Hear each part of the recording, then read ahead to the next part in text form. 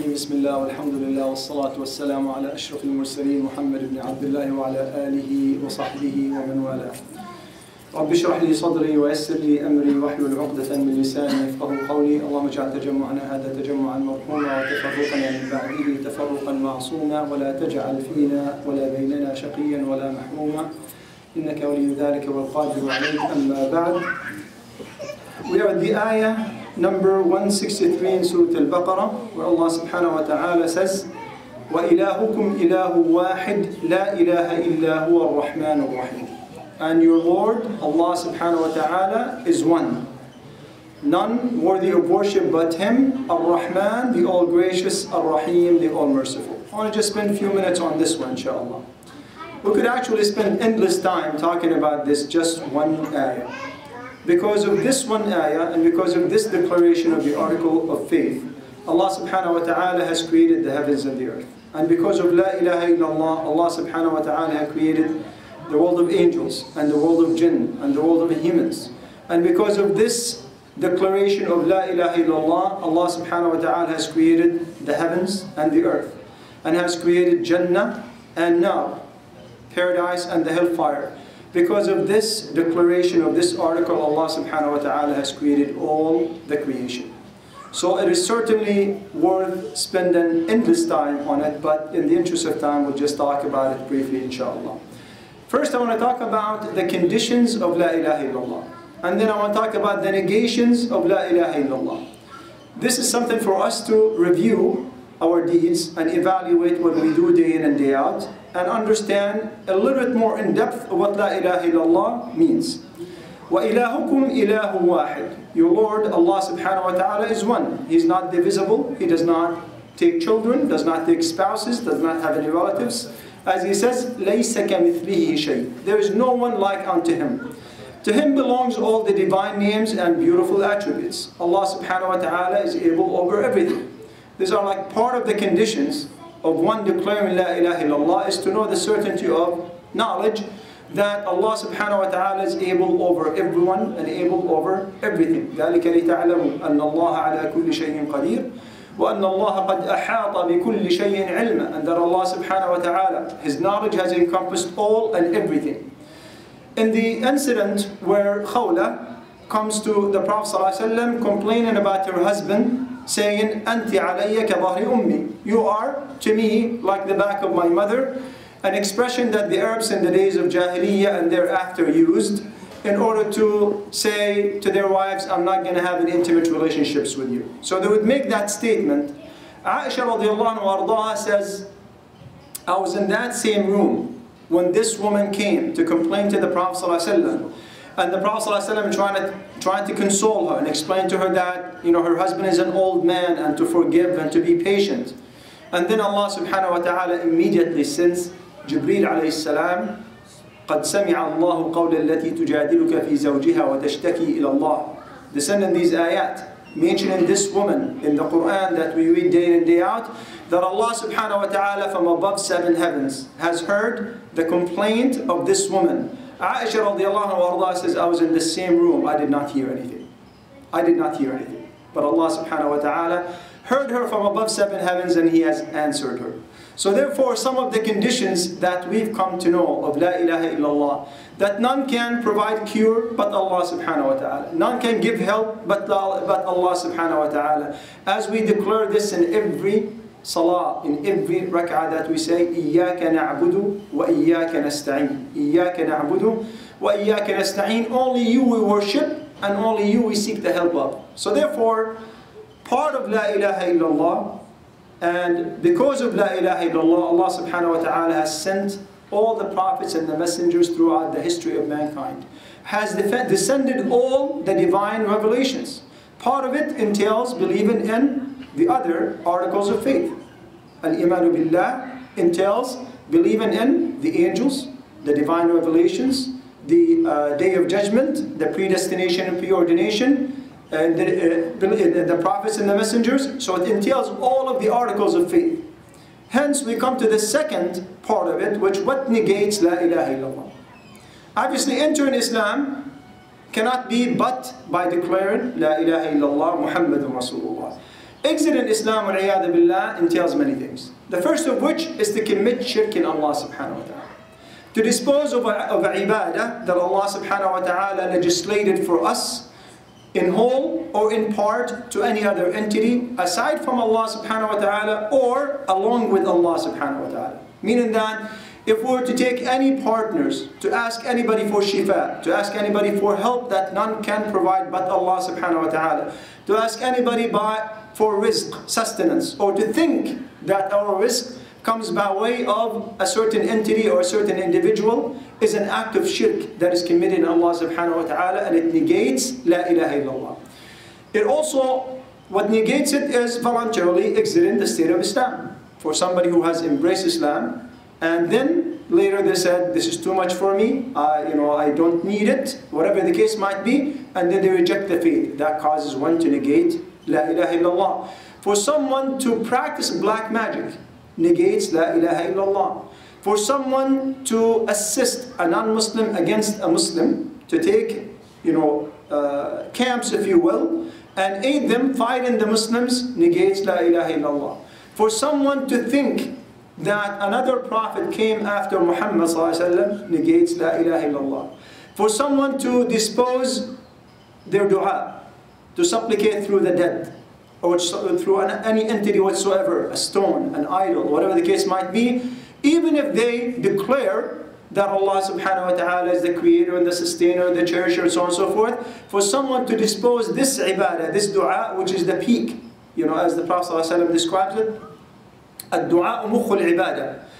Everything we do, we do it for the sake of pleasing Allah subhanahu wa ta'ala, so our dua is acceptable to Him. So, this, so, so to ask someone for forgiveness, to ask for intercession in this dunya, by way of the living or the dead, even if it is the Prophet ﷺ himself. Like you would see people going to Medina and then making dua, asking the Prophet ﷺ to intercede on our behalf. The Prophet ﷺ is dead. إنك ميت وإنهم وإنهم ميتون and we see him lying in his grave we see his grave not we see him physically but we recognize his grave and the grave of Abu Bakr and Umar radiallahu so to ask him for intercession or to ask him for forgiveness or to ask him for mercy that's an act of shirk to slaughter on the graves you know that's an act of shirk even though people may claim that we only doing so just as, an, as, a, as a way of honoring the dead this is not the practice that the Prophet ﷺ taught us uh, to, uh, you know, to think that shifa, healing, even if you go to the doctor and you take your medication, to think that healing is in the medicine or in the hands of the doctor is an act of shirk that negates La ilaha illallah. The only shifa that comes is from Allah subhanahu wa ta'ala. To think that someone can return from the dead is an act of shirk. Because Allah subhanahu wa ta'ala says, وَمِن وَرَائِهِمْ بَرْزَخٌ إِلَى يَوْمِ يُبْعَثُونَ to think of Allah subhanahu wa ta'ala in ways that He resembles His creation is an absolute act of shirk that negates La ilaha illallah. To think of the divine names and attributes of Allah subhanahu wa ta'ala as non-finite, meaning that they are finite, and others can partake in that, negates La ilaha illallah. To disbelieve that Allah subhanahu wa ta'ala has physical qualities and characteristics as He says in the Quran, that وقالوا يد الله مغلولة غلت أيديهم ولعنوا بما قالوا بل يداه مبسوطتان. So Allah subhanahu wa ta'ala talks about two hands and he opens them and he closes them in terms of it's an expression of he gives rizq abundantly and not so abundantly to whoever he chooses according to his infinite knowledge and infinite wisdom. So to negate that Allah subhanahu wa ta'ala has hands is an act of shirk to resemble these or to draw a resemblance between these hands of Allah subhanahu wa ta'ala and to describe them as finite or to draw resemblance between them and the hands of the created is an act of shirk that negates La ilaha illallah. In addition to make halal that which Allah subhanahu wa ta'ala has made haram or to make haram that which Allah subhanahu wa ta'ala has made halal. In other words, we believe that the drinking alcohol is prohibited. So if someone drinks alcohol, we cannot say this negates La ilaha illallah. We say this, they've committed a sin. But for them to come and say, no, this is not haram. It says in the Quran, وَلَا تَقْرَبُوا الصَّلَاةَ وَأَنْتُمْ سُكَارًا So there's a person who just reads ayat that they like in the Quran and they leave the others. They have no knowledge of what's been revealed first and glass, what's been abrogated and what's not been abrogated. So they come and say, no, Allah subhanahu wa ta'ala says, do not come close to salah in a state of drunkenness. So therefore, after salah I can drink, it's permissible. That's a statement of ignorance. And this person would need to be educated. If they insist upon their own, then they have exited the state of Islam and they have negated La ilaha illallah. Because none make halal and haram except the Prophet ﷺ, and of course first and foremost Allah subhanahu wa ta'ala. To believe that anyone can bring you benefit or deter harm from you aside from Allah subhanahu wa ta'ala without the will of Allah subhanahu wa ta'ala is an act of shirk because we say la hawla wa la quwwata illa billah what hawla wa la quwwata illa billah mean? means none can bring benefit and none can deter harm but Allah subhanahu wa ta'ala so to think that good and bad can come from another person, even if it's a religious person, even if it's the most righteous person on the face of the earth, even if it's the head of a particular religious group or particular religious sect or so on and so forth, that is an act of shirk because we declare that none, even at the time where a person says to the Prophet ﷺ, مَا شَاءَ اللَّهُ وَشِئْتَ Whatever Allah subhanahu wa ta'ala wills and you will. So the Prophet ﷺ immediately responded, he said, أَجَعَلْتَنِي لِلَّهِ نِدَّةً you made me a partner with Allah subhanahu wa ta'ala. He said, if you must, you would say, مَا شَاءَ اللَّهِ ثُمَّ شِئْتَ Whatever Allah subhanahu wa ta'ala wills, then you will. As Allah subhanahu wa ta'ala says in the Quran, وَمَا تَشَاءُونَ إِلَّا أَن يَشَاءَ اللَّهُ رَبُّ الْعَالَمِينَ Your will is only secondary to the will of Allah subhanahu wa ta'ala. Whatever He wills will come to pass. Whatever He does not will, even if the entire humanity and the world of jinn were to gather to make it happen, it shall not happen it shall not happen. Similarly, to fear none like we fear Allah subhanahu wa ta'ala, and to love none like we love Allah subhanahu wa ta'ala. Which brings us to the second part of La ilaha illallah, Muhammadun Rasulullah. Muhammadun Rasulullah means لا متبوع بحق إلا محمد صلى الله عليه وسلم. None is rightfully followed as a role model for humanity, as an example for us to follow, except the Prophet ﷺ. So if someone takes their uh, you know, the imam of the masjid, or they take a particular scholar, or a particular uh, leader of a religious sect, and they come and say, whatever they do, I'm going to follow. Whatever they say, I'm going to follow. The fiqh is whatever they explain, whatever they understand. This person is not following the Prophet.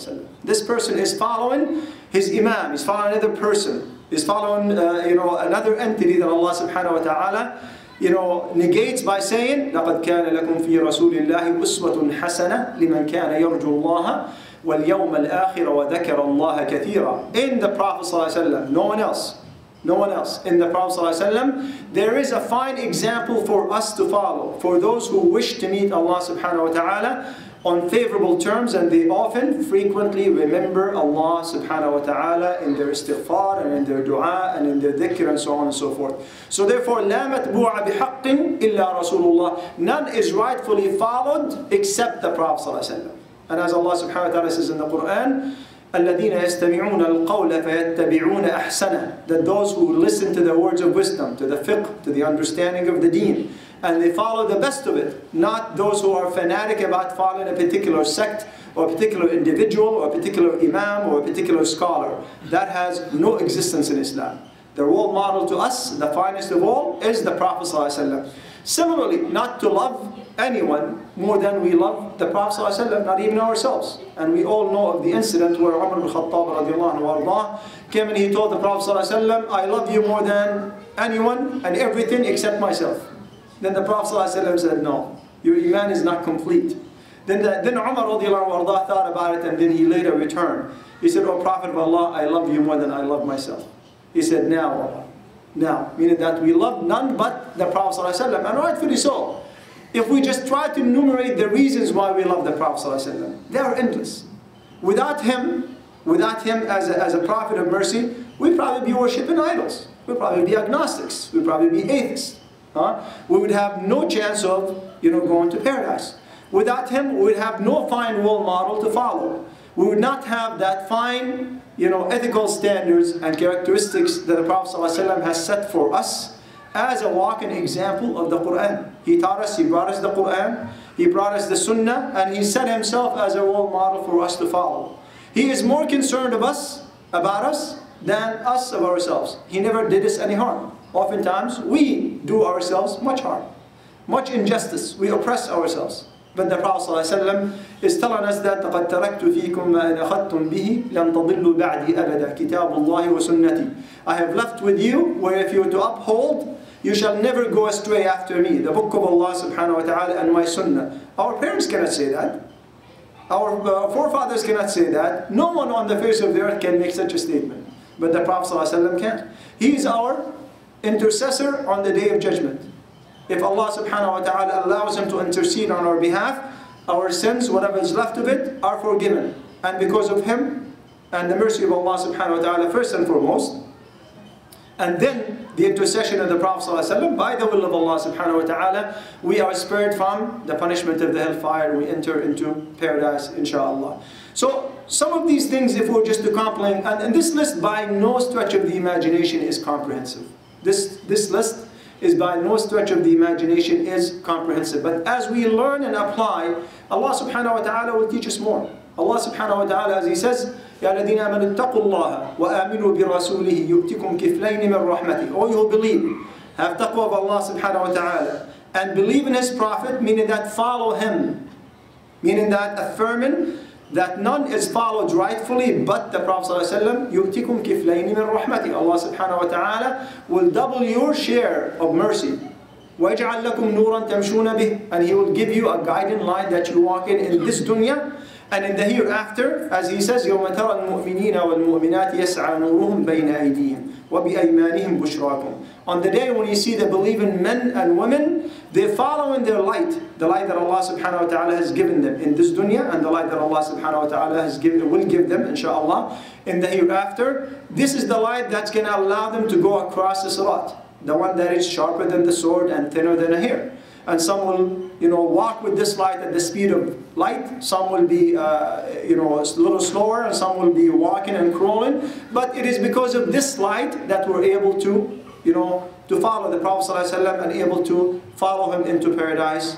Inshallah. أقول قولي هذا واستغفروه. We ask Allah subhanahu wa ta'ala to cause us to gain the proper understanding of this very important word, La ilaha illallah, Muhammad Rasulullah. We grant Allah subhanahu wa ta'ala to cause us to live and die by it. We ask Allah subhanahu wa ta'ala to grant us the ability to utter us before our souls part ways with our bodies. أقول قولي هذا واستغفر فاستغفروه. سبحانك اللهم وبحمدك نشهد أن لا إله إلا أنت نستغفرك ونتوب إليك. سبحان ربك رب العزة عما يصفون وسلام على المرسلين والحمد لله رب العالمين. جزاكم الله خيرا. السلام عليكم ورحمة الله وبركاته.